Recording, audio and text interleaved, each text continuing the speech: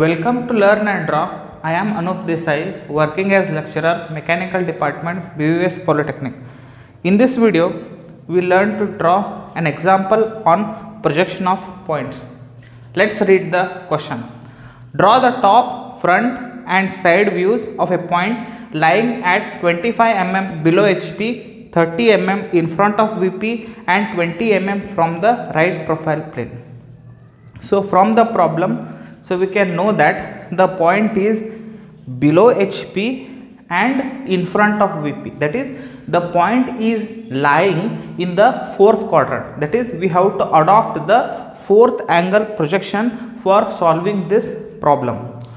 So now first let's draw an XY line of uh, convenient length so let's name this as x y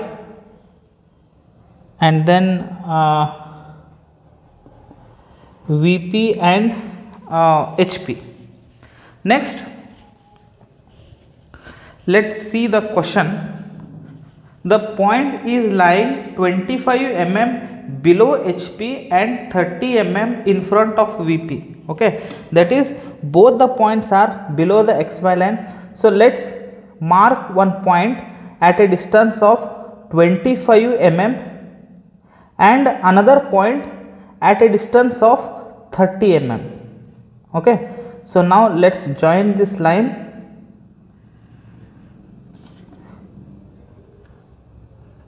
So let's uh, name this point as d dash and D. So D dash will be our uh, front view and D will be our top view. Now the last point is the point is 20 mm from the right profile plane. So here what we have to do? So we have to measure, we have to draw the right profile plane that is we have to measure 20 mm here.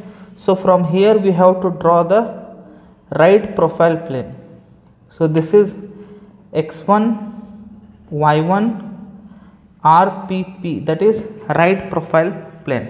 So now to draw the side view so we have to draw the uh, 45 degree line from the right profile plane okay? So here uh, at this point so i will mark 45 degree and then join this point So next using the front view and top view. So let's draw the projection lines which meet this 45 degree line and then the intersection of both the projection lines will give the side view okay so now first let's draw the uh, projection line from the top view which will touch the 45 degree line okay? So then project it upwards.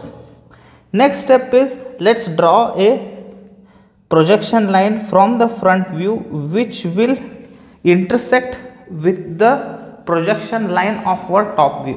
So now uh, let's name the uh, directions.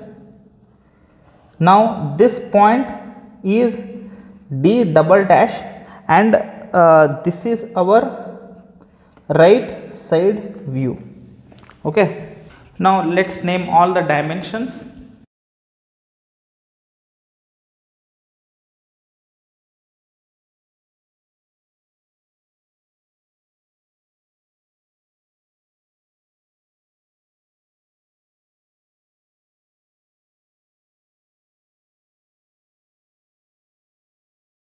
After naming all the dimensions this completes the problem.